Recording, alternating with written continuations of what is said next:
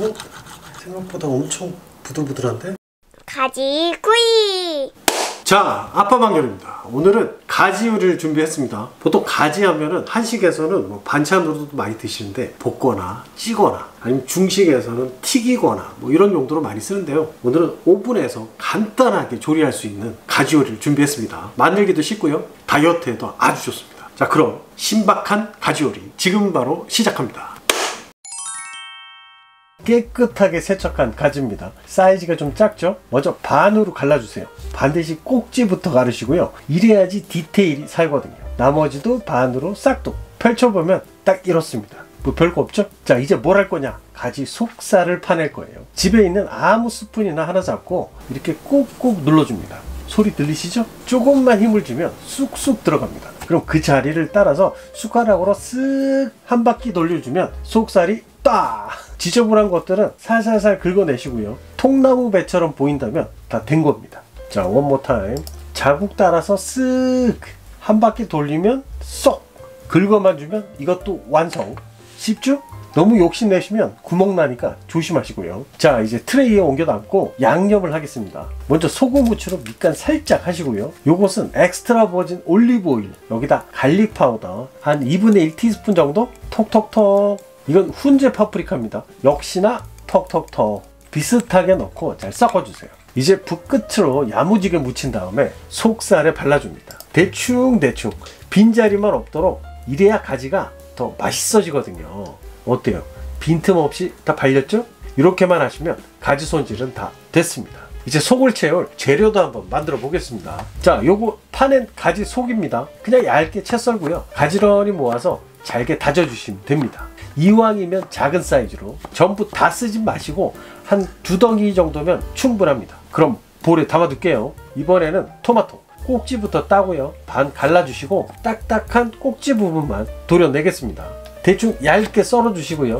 채 썰은 다음에 다져주시면 됩니다. 너무 크게 썰면 잘 안 들어가니까 가지랑 비슷한 사이즈로 해주시고요. 토마토는 하나만 쓰겠습니다. 자 이번에는 치즈 호불호가 없는 그라나 파다노 치즈입니다. 특히 제 와이프가 아주 좋아하십니다. 이왕이면 아내가 좋아하는 치즈로 골라주시고요. 치즈 가는 강판의 날이 꽤나 날카롭습니다. 가급적 장갑을 꼭 끼시고요.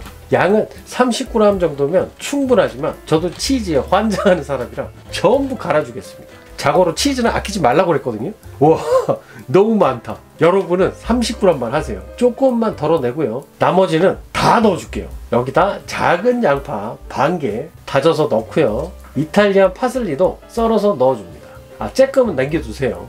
다진 마늘도 반 큰술, 돼지고기 다짐육은 50g. 근데 미리 구워서 넣어주시면 더 좋습니다.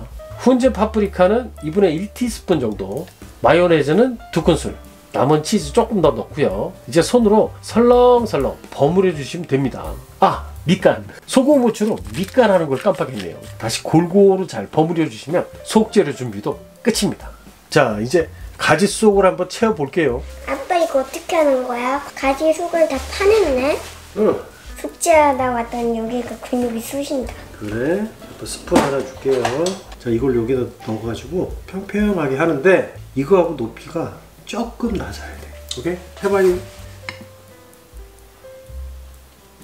나 참금손 씻었어. 응 그렇지. 오케이 그 정도면 되겠다. 아, 여기도 넣어주세요. 다 끝난 거야? 여기 끝이냐? 그럼 재미가 없지. 계란을 턱 깨는 거야. 혹시 거기다 올려? 그렇지. 아 계란이 들어가려고 이렇게 말했. 으, 이렇게 되면 이제 계란이 넘어가는 거지, 그지?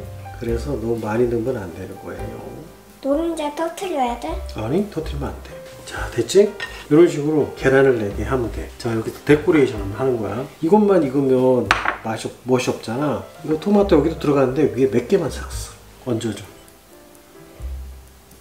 자, 그런 다음에 파슬리야, Italian 파슬리 한두 장 이렇게. 자, 그 다음에 치즈. 치즈가 아주 조금만. 안에 치즈가 많이 들어갔거든. 위에만 치즈 살짝. 빈자리에다가. 됐어? 이렇게 하면 된 겁니다. 나 치즈 조금 먹. 어, 그럼 먹어도 되지. 나 치즈 좋아해지. 여기다가 이거부터 먼저 올리고 이러면서 또 하나 먹어줄게. 아 아빠 역시 토마토는 맛있어. 맛있어. 아주 예쁘게 잘 채웠습니다. 이제 오븐용 팬에 유산지 하나 깔고요. 그 위로 조심스럽게 속을 가득 채운 가지를 놓아주세요. 아, 근데 비주얼이 정말 아트네, 아트. 크. 그럼 오븐에 넣고 180도에서 딱 40분만 구워주겠습니다. 짜자잔! 오븐에 구운 가지 요리가 나왔습니다. 손으로 통째로 들고 먹고 싶지만 plating부터 하겠습니다. 자, 먼저 훈제 파프리카 톡톡톡 내 마음대로 아무데나 뿌립니다. 그 위로 잘 구운 가지를 올려줄게요.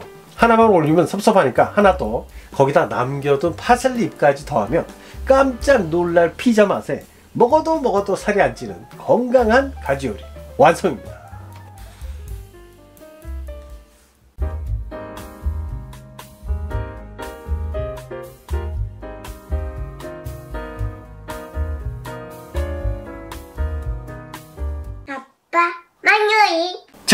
요리가 다 됐고요. 맛을 한번 보겠습니다. 비주얼 장난 아니지? 응. 한마디로 아트. 응? 아트. 아트. 아트. 그만 좀 말해. 자, 그럼 이 맛을 한번 봐야죠. 자, 아빠 잘라볼게요. 계란을 잘라내는 게 중요하니까. 으씨, 어?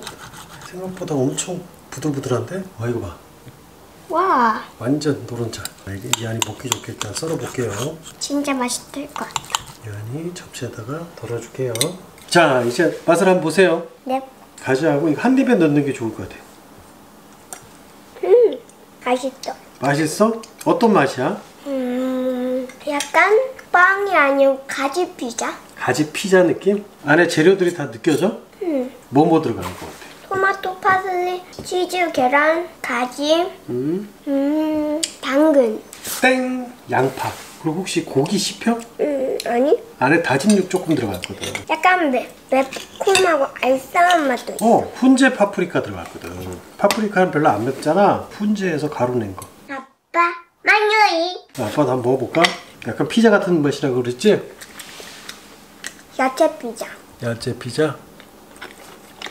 음, 완전 짱이지. 음, 진짜 리안이 말대로 피자 맛이야. 근데 되게 오일리하거나 그러지 않고 약간 맛있- 건강한 피자. 또 건강한 피자 맛이야. 맛있다. 음, 접시까지 싹싹. 혼자 파프리카 안 맵지?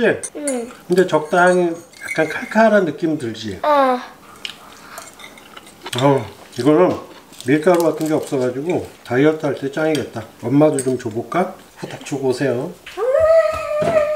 엄마 맛이 어떻습니까? 스페인 요리야? 음, 스페인 요리야 이거. 약간 야채 피자 맛이 나고요. 가지가 되게 부드럽지 않은데 계란이 부드러워요.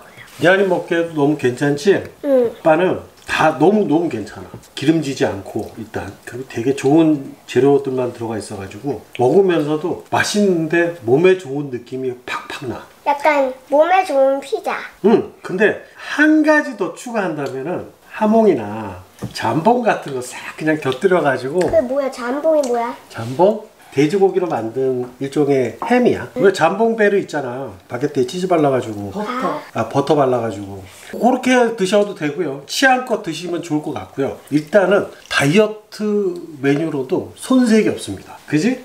응. 너무 맛있으니까 간편하게 이렇게 해 드시면 될 것 같고요. 자, 그래서 오늘 스페인식 가지 요리. 이름은 어, 너무 길어가지고 제가 정확하게 모르겠고요. 더보기를 안에다가 써드리긴 할게요. 근데 이거 말고도 약간 변형된 레시피들이 외국 유튜버들 보면 많이 있으니까 그런 것도 보시면은 음, 도움이 되실 겁니다. 아 근데 너무 상큼 샐러드 같은 느낌인데 피자 같은 맛있게 건강한 가지 요리 아참 이거 생각보다 너무. 상큼하고 괜찮습니다 자 그럼 오늘은 여기까지 구독과 좋아요, 알림 설정까지 꾹꾹 눌러주세요. 그럼 다음 시간에 만나요. 제발